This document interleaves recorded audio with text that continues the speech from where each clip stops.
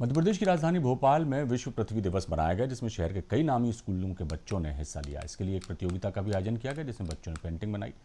आपको बता दें इस कार्यक्रम का आयोजन सामाजिक संस्था ने पृथ्वी विज्ञान मंत्रालय, भारत सरकार के साथ मिलकर किया। कार्यक्रम का मकसद आने वाली जनरेशन को जागरूक करना था कि पृथ्वी को कैसे बचाएँ। हम लोग शिक्षा एवं सामाजिक संस्था है हमारी ये।